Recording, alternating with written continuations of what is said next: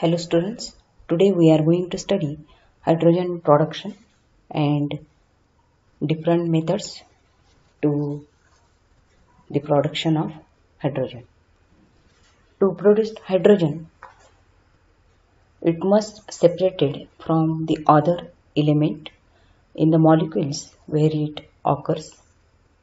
Hydrogen production is the family of industrial methods for generating hydrogen gas.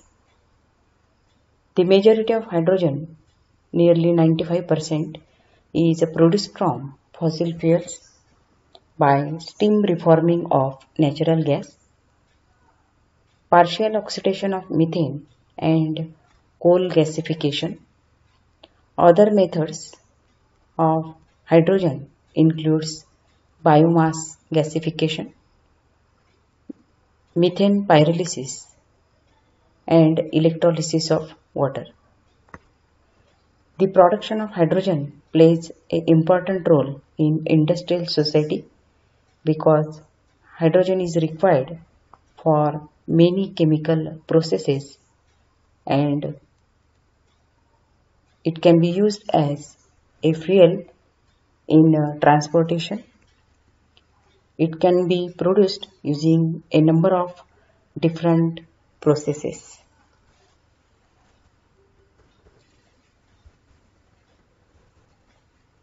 There are various routes for the production of hydrogen such as electrolysis of water, then a direct thermal decomposition of water, biological method, then a biochemical method and steam reforming of natural gas. Let us consider electrolysis of water. The word electro means the electricity giving certain type of potential difference between two electrodes and lysis means breakdown or splitting of water into hydrogen and oxygen. Hydrogen can be used for industrial processes and also used as a future fuel. It is a renewable source and oxygen is helpful to environment means in this process break water by passing electricity through it. To achieve electrolysis, main components are a container which is of plastic because plastic is a bad conductor of electricity. Then uh, electrolyte it is a chemical substance which contains free ions and carries electric current. Then uh, two electrodes which are made up of graphite because graphite is a good conductor of electricity. And last one is battery or external power source.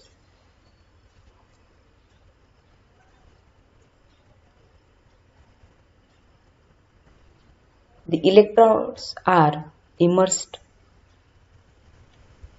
and separated by some distance such that current flows between them through the electrolyte and are connected to the power source which completes the electrical circuit. Out of these two electrodes, one is anode and another one is cathode. Anode is connected to positive terminal of battery and cathode is connected to negative terminal of battery.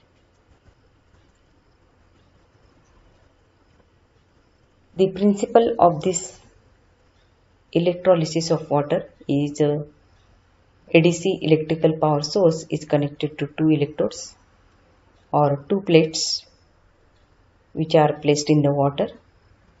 Then uh, hydrogen will appear at the cathode and oxygen will appear at the anode. This figure shows a complete electrolysis of water. It consists of a container. Mostly it is made up of a plastic. Then uh, two electrodes which are made up of graphite. One is cathode another one is anode. Cathode is connected to negative terminal of battery and anode is connected to positive terminal of battery or DC supply. Then electrolyte water. As we know that water is a poor conductor of electricity. So add some ionic compound such as salt or H2SO4 or KOH to water so its conductivity will be increases. And we also note that in molecular wise hydrogen is double than uh, oxygen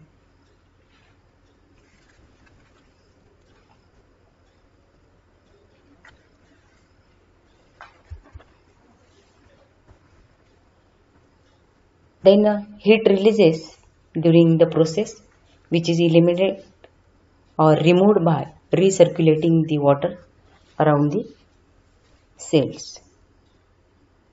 The amount of hydrogen generated is uh, twice the amount of oxygen because in molecular wise hydrogen is double than oxygen and proportional to the total electric charge conducted by the solution. The efficiency of electrolysis is increased through the addition of an electrolyte such as salt or an acid or base.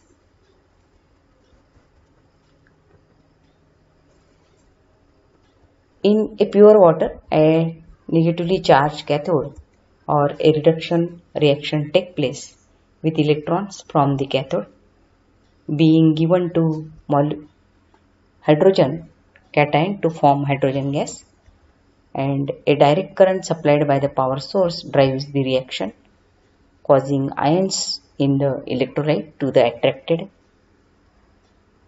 to be attracted towards the oppositely charged electrode means hydrogen will be attracted towards the cathode and oxygen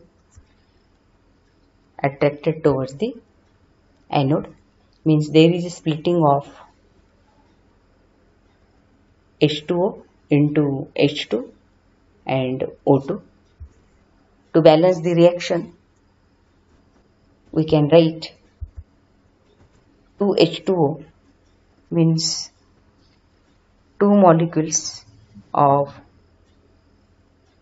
water get splitted or separated by using electricity into two molecules of hydrogen plus one molecule of oxygen in gas form.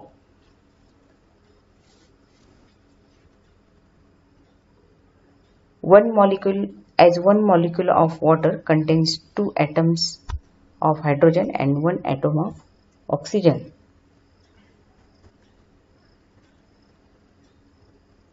This method is also called a water splitting and this is a chemical reaction in which water is broken down into oxygen and hydrogen. Then a direct thermal decomposition of water or it is also called as a thermolysis. The, in the word thermolysis, the therm means heat and uh, lysis means uh, separation so decomposition is a type of or a direct thermal decomposition is a type of chemical reaction. It is defined as the reaction in which a single compound splits into two or more substances. It is just opposite of the combination reaction. In combination reaction, substance is formed as a result of chemical combination while in a decomposition reaction, the substance breaks into new substances. Thermal decomposition is a chemical reaction where a single substance breaks into two or more simple substances when heated. The reaction is usually endothermic because heat is required to break the bonds present in the substance. For example, water. When water is heated, then uh, hydrogen and oxygen are separated. So direct thermal decomposition involves splitting water in one step using only by a heat. This method require high temperature which is to, which is to be applied to the system. This uh, figure shows a direct thermal decomposition of water. So when water is uh, heated then uh, hydrogen and oxygen get separated. At high temperature when water is heated then uh, some water vapor dissociates or separates into hydrogen and uh, oxygen. If these uh, dissociated products are extracted separately, it is possible to utilize the reaction for producing hydrogen. Most decomposition reactions require energy either in the form of heat, light or electricity. Absorption of energy causes breaking of bonds present in the reacting substance which decomposes to give the product. So there are uh, different uh, decomposition methods such as uh, thermal decomposition by using heat, then electrolysis uh, by using electricity, then uh, there is also a photolysis means photo decomposition. Yeah, and this method is achieved or reaction achieved um, by the exposure of light or photons. The necessary uh, high temperatures can be generated by concentrating sunlight on a reactor tower using a field of mirror that is uh, heliostats. Heliostat is an apparatus containing movable mirror used to reflect sunlight in a fixed direction. It is an uh, astronomical instrument. The word helio means sun and stat means stationary. Nowadays, heliostats are used for the production of concentrated solar power to generate electricity. Then thermochemical process. Thermochemical processes use heat and chemical reactions to release hydrogen from organic materials such as fossil fuels and biomass or from materials like uh, water. Water can also be split into hydrogen and oxygen using electrolysis or uh, solar energy. Some microorganisms such as bacteria and algae can produce hydrogen through biological processes. Thermal processes use the energy in various resources such as natural gas, coal or biomass to release hydrogen from molecular their molecular structure. In other processes, heat in combination with closed chemical cycles produces hydrogen from feedstocks such as uh, water. Then a photoelectrolysis or it is also called as a photolysis uh, like as a thermolysis, electrolysis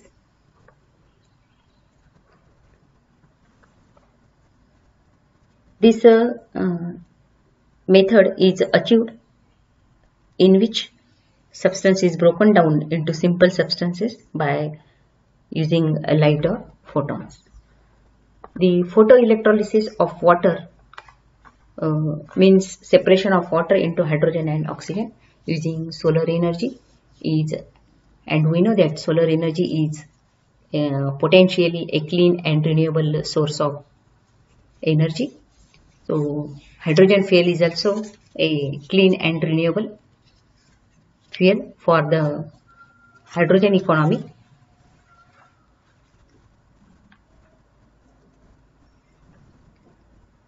Solar energy occurs in a photochemical cell uh, or in a sunlight and semiconductors.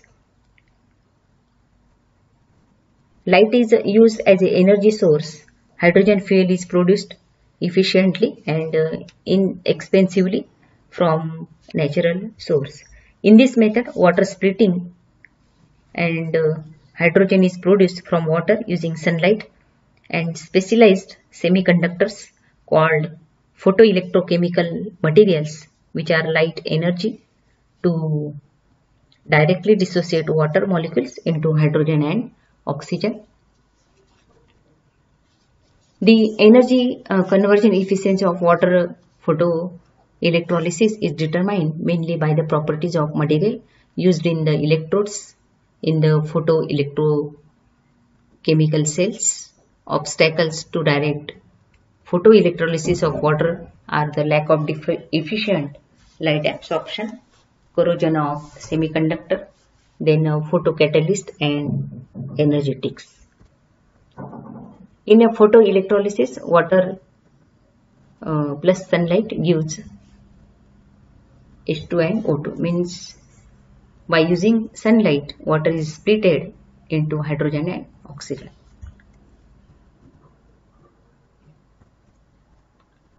There are two types of photoelectrolysis methods. First one is indirect electrolysis gives a solar cell plus electrolyzer and indirect photoelectrolysis uh, it gives water splitting by photo generated electrons. Then uh, thermochemical processes are as it is uh, thermochemical processes are natural gas reform, reforming. It is also called as steam methane reforming or in short SMR. Then uh, biomass gasification, solar thermochemical hydrogen or STCH and uh, last one is a biomass which is derived liquid reforming. So let us consider hydrogen production by using a natural gas reforming. It is the most prominent method for the production of hydrogen. Although today most of the hydrogen is produced by natural gas, is a advanced and uh, mature production process that builds upon the existing natural gas pipeline Today 95% of hydrogen produced in the US is made up made by natural gas reforming in large central plants. This is also an important technology pathway for near term hydrogen production. How this uh, natural gas reforming work? Natural gas contains methane means CH4 and that can be used to produce hydrogen with thermal processes such as steam methane reformation and partial oxidation. Means in uh, methane it means CH4 we have to separate hydrogen by this method.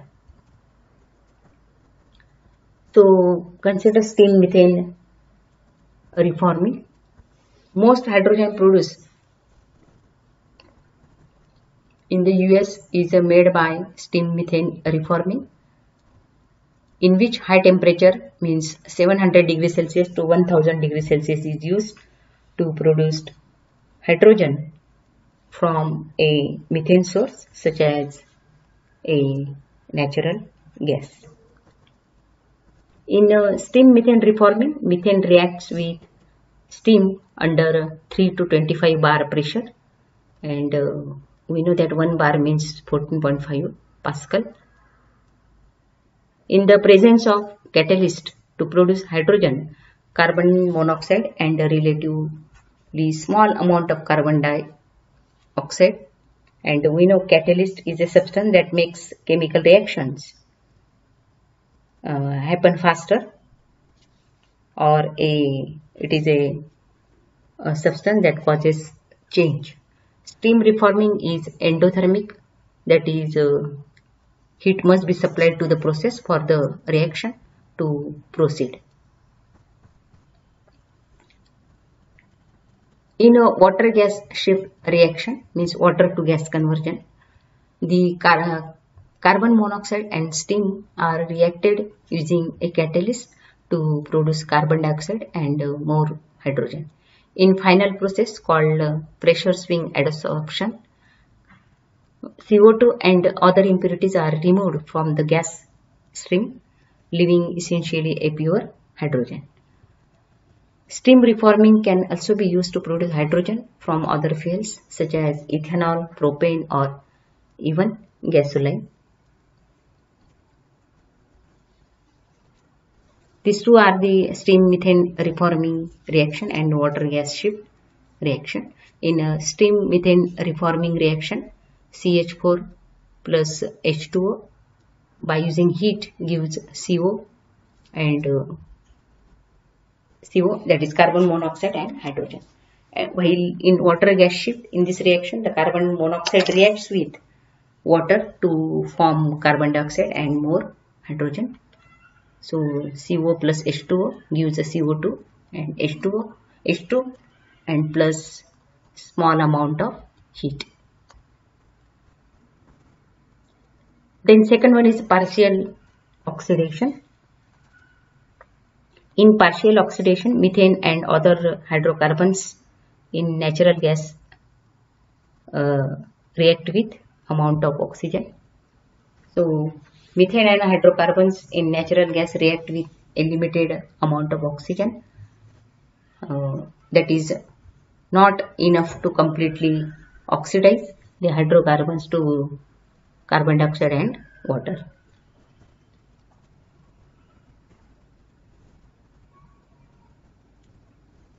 In a water gas shift reaction, carbon monoxide reacts with water to form the uh, carbon dioxide and more hydrogen. The amount of oxygen available, the reaction products contain hydrogen and uh, carbon monoxide and relatively small amount of carbon dioxide and other compounds. In partial oxidation, uh, the reaction or process is exothermic uh, process uh, which produces heat. The process is typically much faster than uh, steam reforming and requires a small reactor vessel as can be seen in chemical reactions of partial oxidation. This process is initially produces less hydrogen per unit of the input fuel that is obtained by steam reforming of the same fuel. The reactions are partial oxidation of methane reaction. CH4 react with oxygen gives carbon monoxide and hydrogen plus some amount of heat. And in uh, water gas shift reaction, carbon monoxide uh, plus water gives carbon dioxide plus hydrogen and uh, small amount of heat and uh, this is the end of the lecture thank you